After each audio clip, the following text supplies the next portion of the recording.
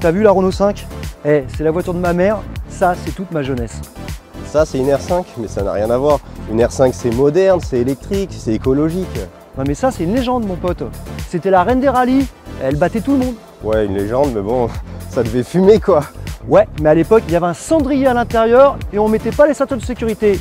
Ça c'était rock'n'roll. Non, mais la nouvelle R5, c'est moderne, c'est technologique, c'est écologique, et en plus, c'est fabriqué en France. C'est super bon pour l'économie locale quoi. La R5, euh, elle fait partie du passé de la France et des Français. Alors venez écrire le futur de la R5 électrique avec nous.